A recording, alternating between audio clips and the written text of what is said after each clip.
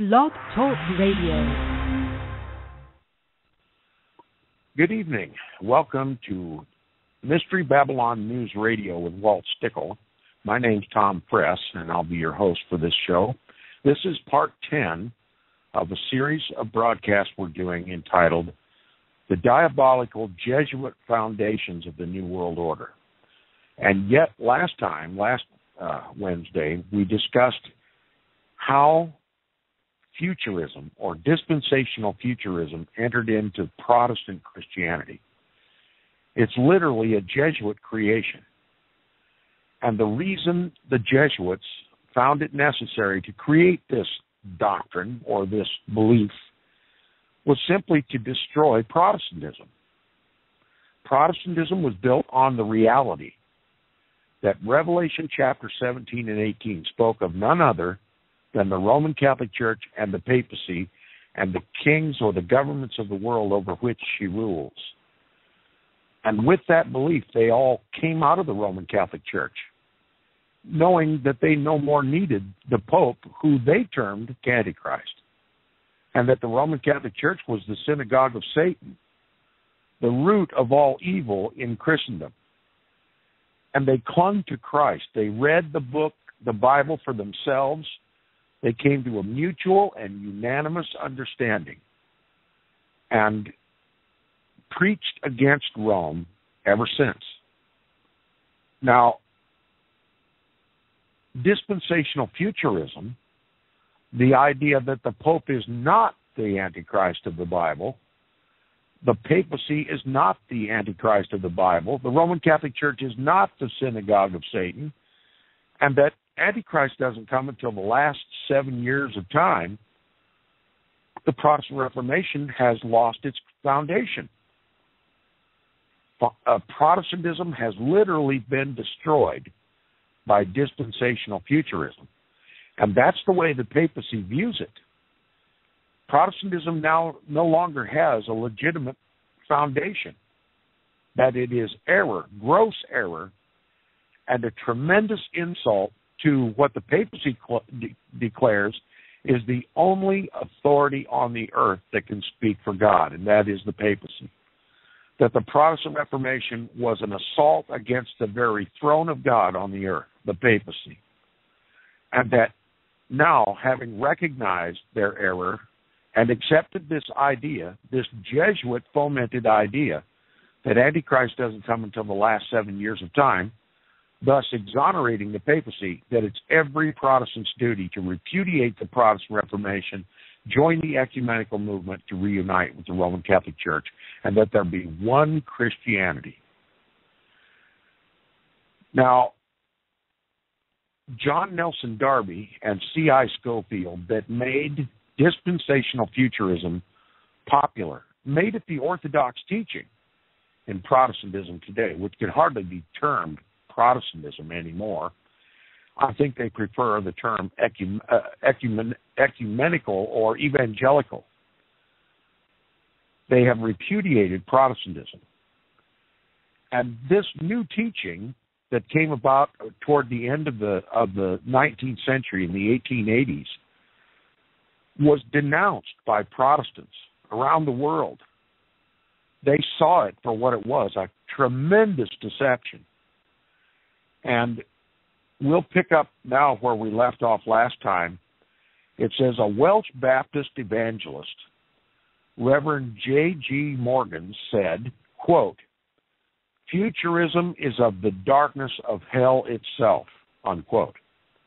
Dr. Howard Taylor, son of J. Hudson Taylor, said, or excuse me, founder of the China Inland Mission said, quote, how any Protestant preacher can believe the Roman Catholic inspired scheme of revelation passes all comprehension. Now, what is the Roman Catholic inspired scheme of revelation? Well, that Revelation chapter 17 and 18 does not talk about the papacy, does not describe the papacy as the woman riding the scarlet colored beast.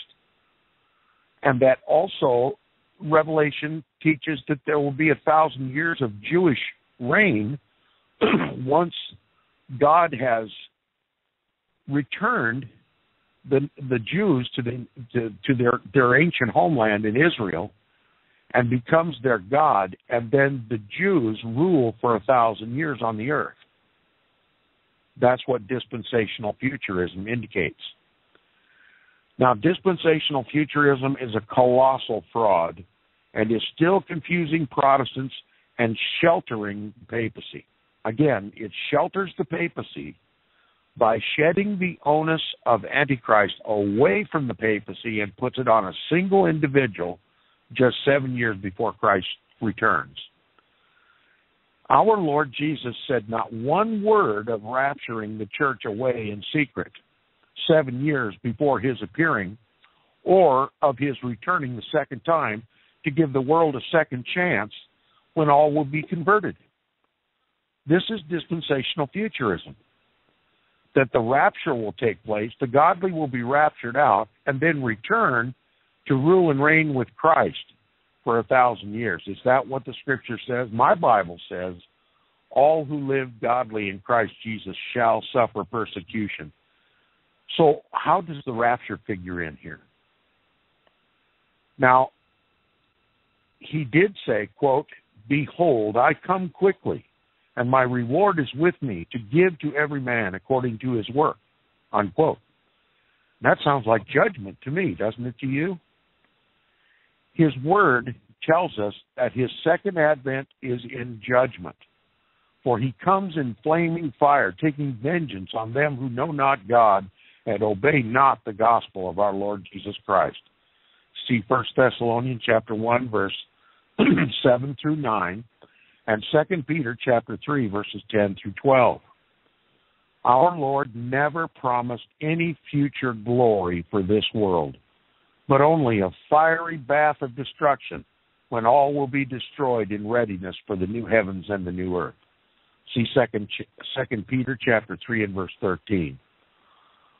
All Christless doctrines are false, no matter how many good men and eminent Bible teachers endorse them. That includes dispensational futurism. The, the Canadian ICCC, ICCC defender of the faith, Dr. T.T. Shields said, quote, the futurist dispensational doctrines are figments of the imagination. I class them as heresy, unquote. Christ is not coming the second time to give the unsaved a second chance and a, and a second era of mercy for mankind. When Christ, the day of judgment comes and time ends.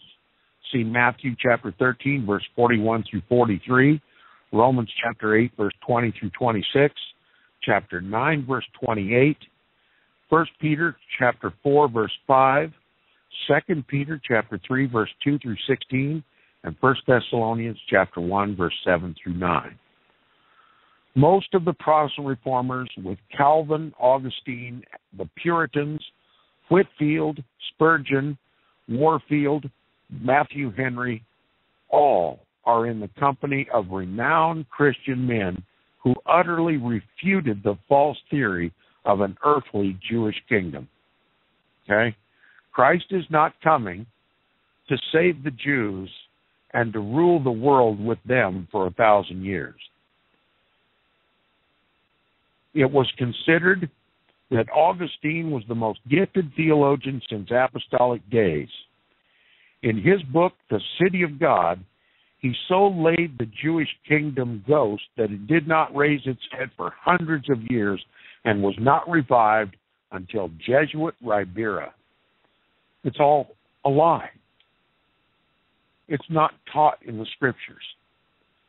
It's the Jesuits' way, number one, to destroy Protestantism and to elevate the papacy to a global Jewish millennium. The Fourth Reich, many would call it.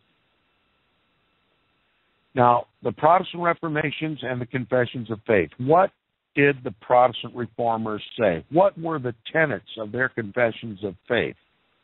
In each one of these confessions of faith, they attack dispensational futurism as a lie. It says, as the Protestant Reformation spread to the various countries of Europe, these nations drew up their own various confessions of faith. In the Augsburg Confession of Faith, it says, This German confession was drawn up by Melanchthon and approved by Luther and was submitted to the rulers and emperors of Germany. It became the confession of faith in Germany and the Lutheran Church. It, among other things, condemned uh, millennialism as a Jewish opinion, rejecting it along with other Anabaptist notions. The English confessions of Edward VI of England from this came the 39 articles of the English Church and also condemned millennialism in these terms quote those who attempt to revive the fable of the, millen, uh, the millenarians oppose the sacred scriptures and throw themselves headlong into Jewish absurdities. Jewish absurdities is how they describe dispensational futurism. The Calvin Institutes.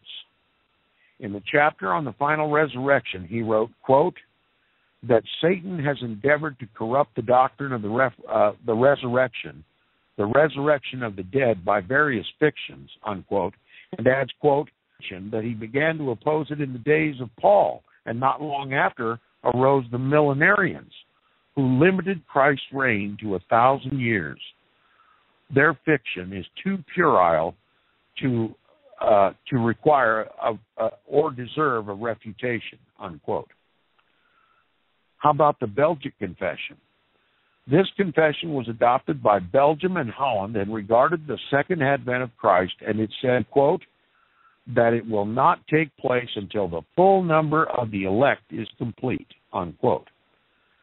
Thus guards against the premillennial scheme, namely that there will be people saved after Christ comes for his own. How about the second Helvet, uh, Confession. This confession was adopted by the followers of the reformer Zwingli and became the confession of Hungary, France, Poland, and Bohemia. It speaks in strong language and states, quote, that we reject the Jewish dreams that there will be before the day of judgment a golden age upon the earth, and that the pious will take possession of the kingdoms of the world after their enemies, the ungodly, have been subdued. Unquote. They quoted scriptures against what was called Jewish dreams. And now the Westminster Confession. Quote, we are to believe that at the last day there shall be a general resurrection of the dead, both of the just and of the unjust, when they that are found alive in a moment shall be changed and the self-same bodies of the dead which are laid in the grave being then again united with their souls forever shall be raised by the power of Christ. Immediately after the resurrection shall follow the general and final judgment of the angels and men, the day and the hour whereof no, no man knoweth, that all may watch and pray and be ever ready for the coming of the Lord. Unquote. See Acts chapter 24, verses 15, First, First Corinthians chapter 15, verse 51 through 53, First Thessalonians 4, verses 15 through 17, and John chapter 5, verse 28 and 29. In the light of the foregoing array of evidence from the Reformation confessions of faith, it is evident that there is not one line of support for the dispensational Jewish kingdom heresy and it is not surprising when it advocates uh, when it advocates when its advocates attack the ministry, the church, or the den- denomination to which one may belong. Says one dispensationalist, quote, Christendom is dark and a dreadful anomaly. It is the corruption of the very best things and therefore is the very worst corruption. It is the masterpiece of Satan the corrupter of the truth of God, and a destroyer of the souls of men. It is a trap, a snare, a stumbling block, the darkest moral blot in the universe of God. It is worse by far than Judaism, worse by far than all the darkest forms of paganism. Unquote. Then again, referring to the ministry, this same writer says, quote, we most certainly should keep clear of the evil of clericalism. Against this dreadful thing, we solemnly warn our readers. No human language could possibly depict the evil of it. Referring to the church, the same writer says, quote, The church has failed utterly. It has fallen from its high and hope position. It is under judgment. It cannot therefore be cheered by the church's proper hope, but is threatened by the world's terrible doom. Unquote. Again, quote, but alas, the professing church has sunk lower and become darker than even the world itself. Unquote. These quotes are taken from the papers of The Lord's Coming by C.H.M. And published by Moody Press, pages 42, uh, 82 and 87. So we see that dispensationalism is directly opposed to the ministry and the denominational church.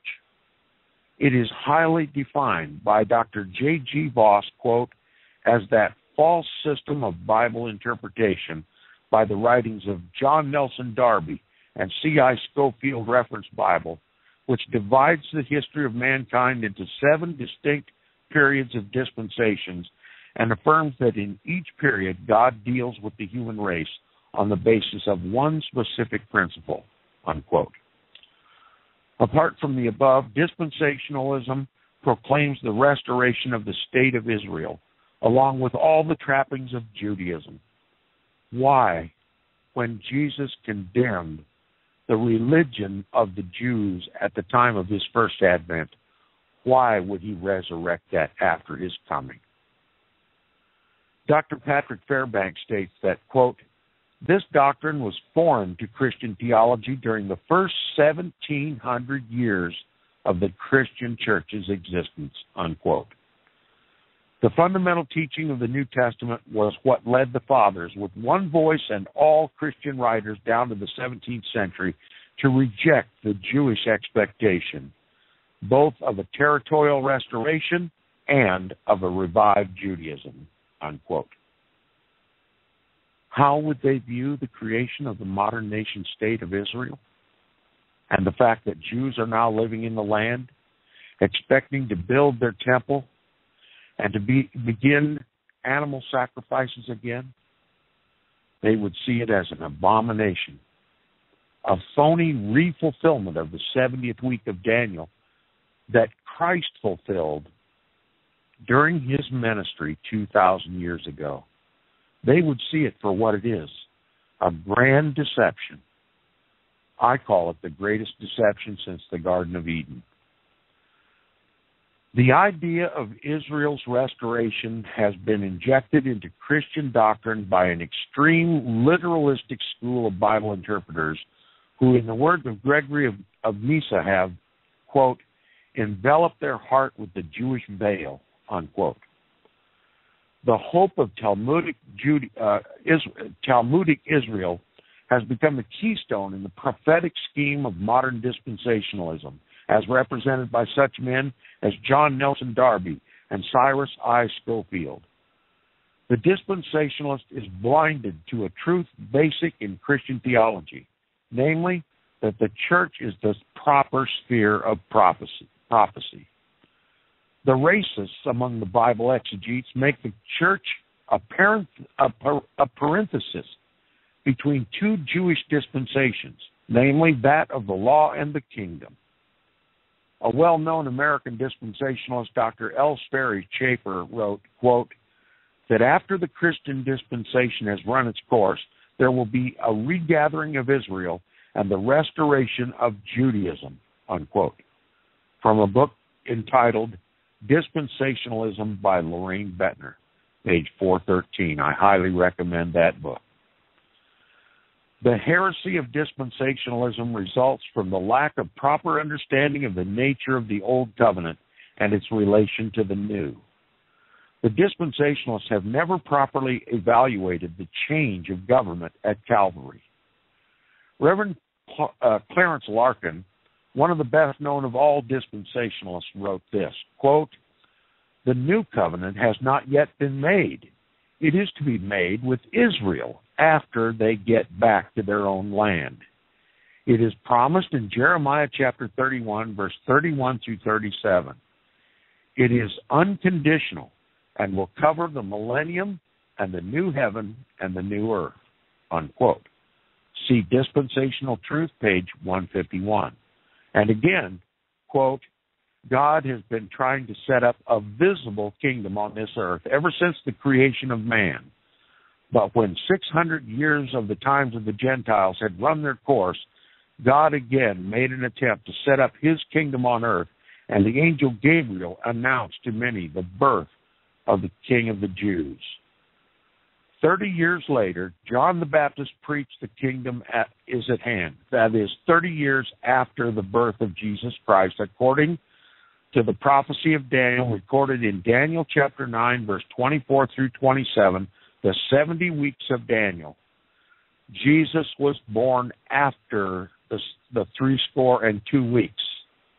Knowing that there were seven weeks of years prior to that, he was literally born at the end, or rather, at, at, at his time of his baptism, he was baptized at the very end of that 69th week. Okay? So, his ministry began at the 70th week of Daniel, the beginning of the 70th week of Daniel. And in the midst of the week, the midst of the week, the last week, the 70th and final week, in the midst of that week of years, that seven year period of time, in the middle of it, three and a half years into it, he caused the sacrifices and the oblations to cease by giving up his own life and therefore putting an end to all animal sacrifices. There's no more sacrifice for sin. The whole world, according to futurism, dispensational futurism, is looking forward to a re-fulfillment of that prophecy. And it has deceived the whole Christian world. It has become the orthodox teaching in Christianity today. Gabriel announced the birth of the king, and 30 years later, John the Baptist preaching the kingdom is, uh, was preaching that the kingdom of God was at hand. The kingdom manifested, the king manifested did likewise. That is, Christ himself, and then later by the 12, and then the 70 proclaimed the same thing. But the king was rejected and crucified, and the setting up of the kingdom was postponed, unquote. Do you might imagine from all that that Jesus is not going to establish an earthly kingdom at all, but a heavenly one? Not what he said. My kingdom is not of this world. It's not of this world. Where do we find dispensational futurism in that light? What is the traditional and orthodox position regarding Bible interpretation? This is well stated in the writings of the following. DeWitt wrote, quote, the Old Testament is a great prophecy, a great type of him, capital H, who was to come and has come, unquote. Dr. L. Berkhof wrote, quote, nation itself was merely a type of the spiritual realities of the of a better day, and therefore destined to vanish as soon as the antitype made its appearance. The restoration of the ancient theocracy in the future would simply mean the resurrection of the type. He's talking specifically here about two Jewish kingdoms. The first Jewish kingdom was literally a type. The archetype that it preceded was the kingdom of Christ, the invisible, spiritual, heavenly kingdom of Jesus Christ that was opened by Christ Himself. He said, Behold, the kingdom of God is at hand. Wasn't He literally saying, just reach out and touch me? So if Jesus proclaimed himself the king of a new kingdom, then why would he reestablish the old kingdom? It simply just does not make sense. Finally, Charles Haddon Spurgeon says, one of the greatest Protestants, Charles Haddon Spurgeon says, quote, in any part of the Christian church, all national distinctions are swept away, and we are no more foreigners and strangers, but fellow citizens of the saints and the household of God. Ephesians chapter 2, verse 12 through 22. God has leveled the Jews and the Gentiles. He has given us all blessings which belong to Abraham's seed. We are Abraham's seed. If we believe in Jesus, if we are citizens in his kingdom, his heavenly kingdom, if we are of the faith of Jesus, then we are of the faith of Abraham, Isaac, and Jacob, and we are heirs to the promise. We are Abraham's seed.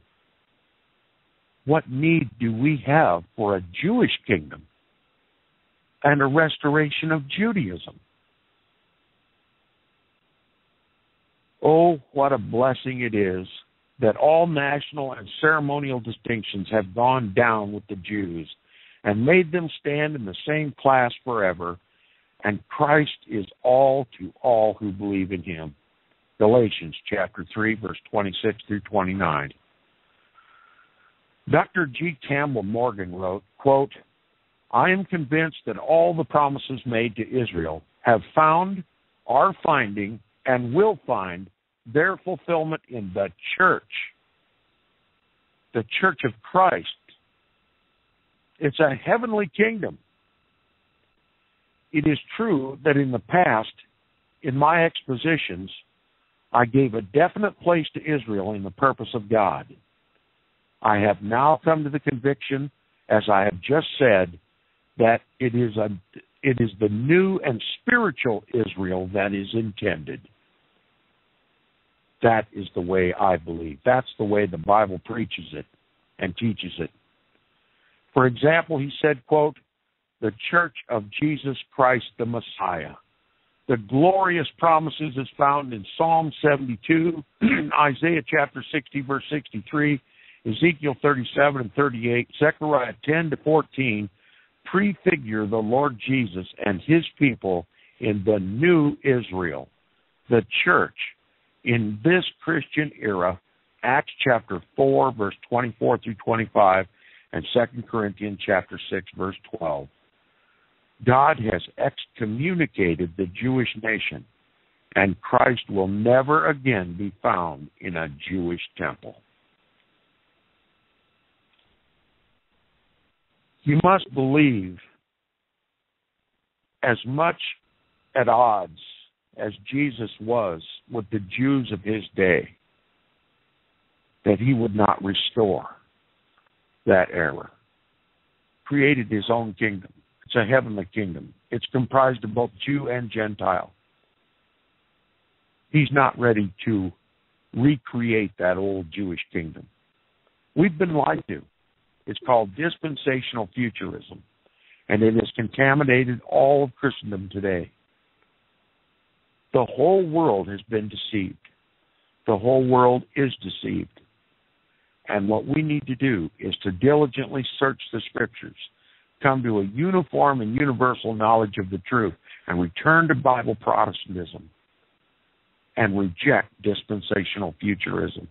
It is the greatest deception upon Christendom since the Garden of Eden.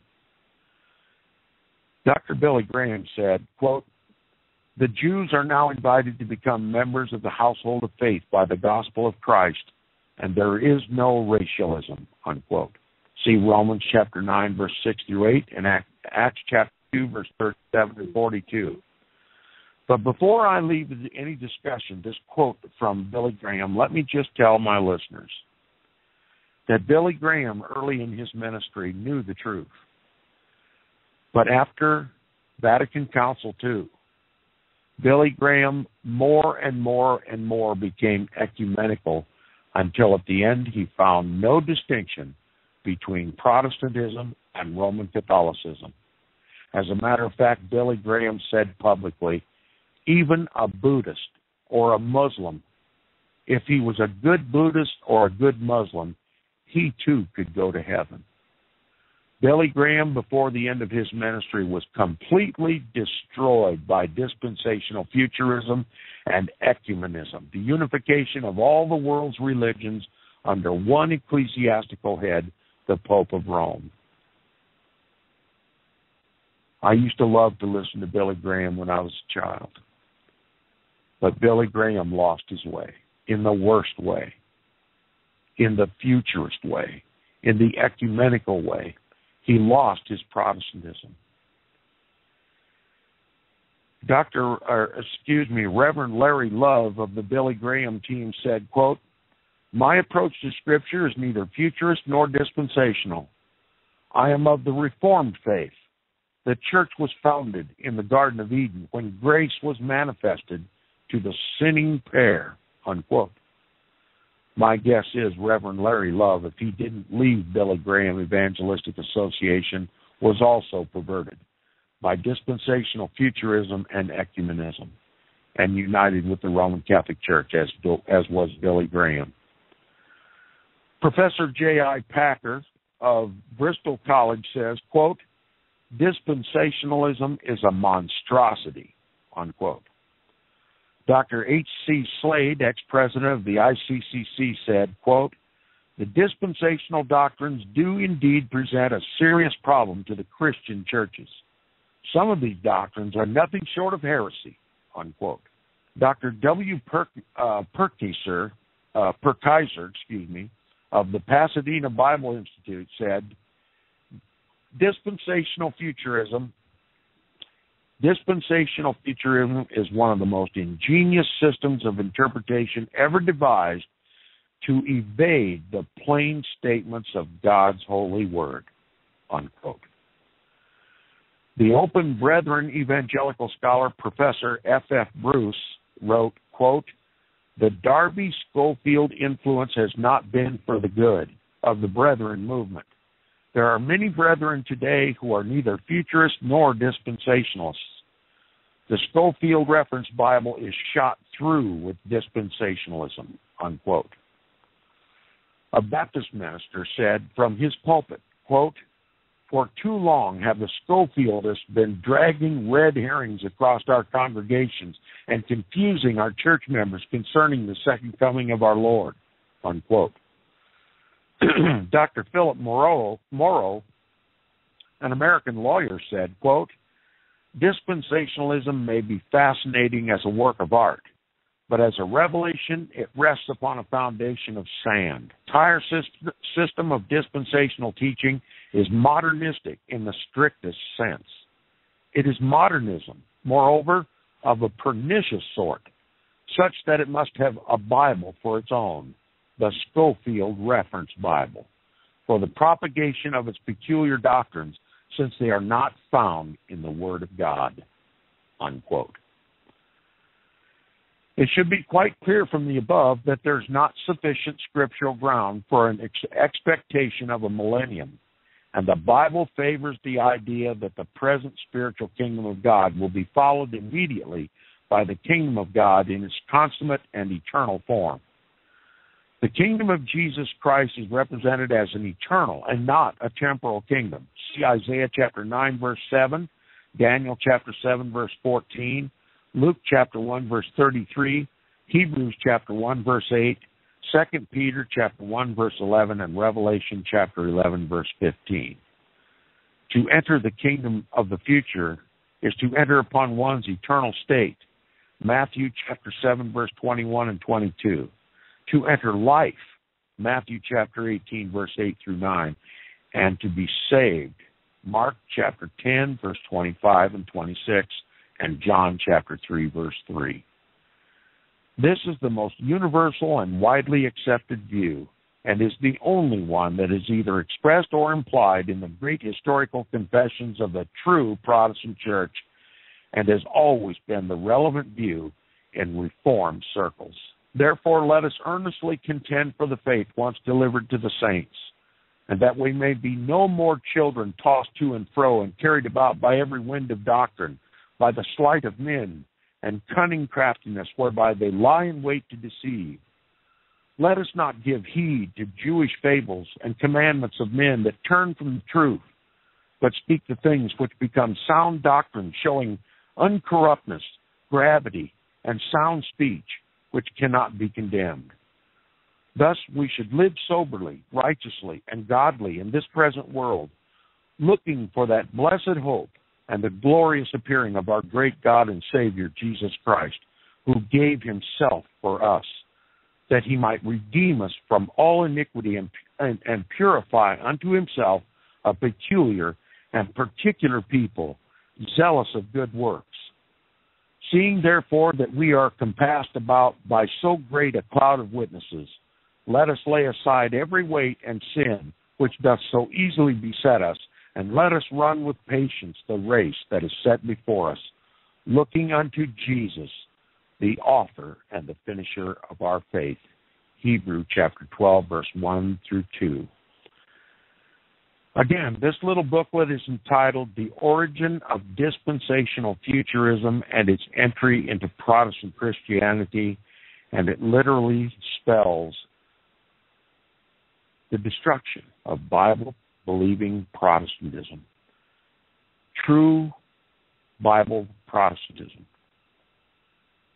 Because of dispensational futurism, Vatican Council II succeeded in drawing all the once Protestant churches back into the Roman Catholic Church and back under the spiritual and temporal authority of the popes.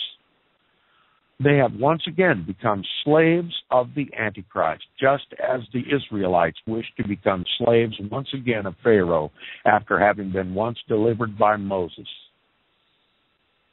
How could it happen? The Protestant Reformation was our deliverance from the modern day Pharaoh. How could any Protestant wish to return to the slavery of modern Egypt? It's inconceivable what has literally happened, but I'll tell you it's going to have real grave consequences in every Protestant life in this age. The Vatican views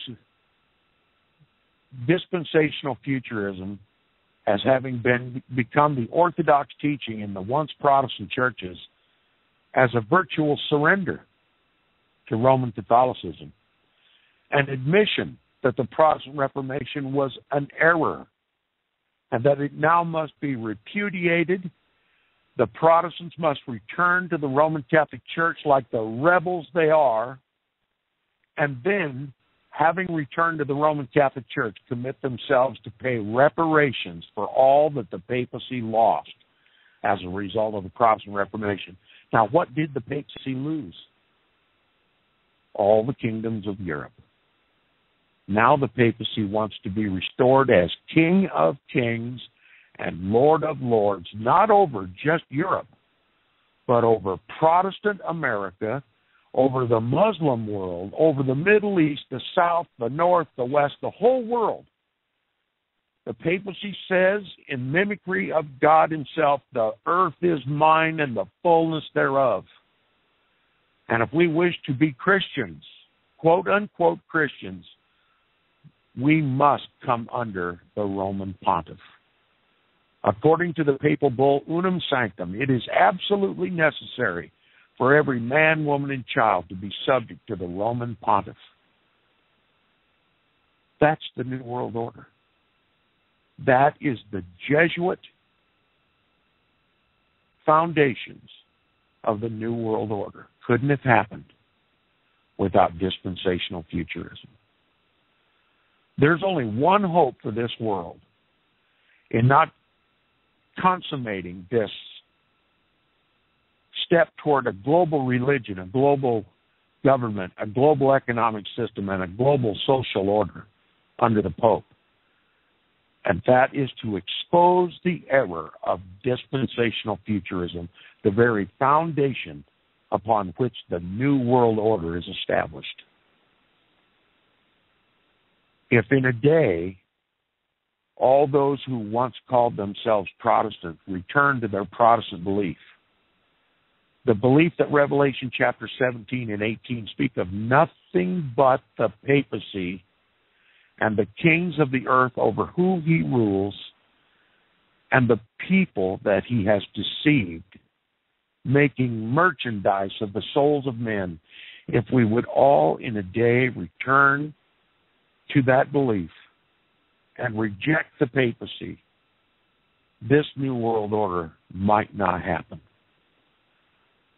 But I can tell you, spitting out that frosting coated futurist lie is very, very difficult. It just tastes too sweet. But it's a lie.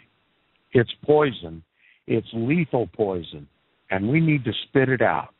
All of it. It's a very difficult thing to unlearn something that has been drummed into your heart and soul for 50 years, as did as as it was for me.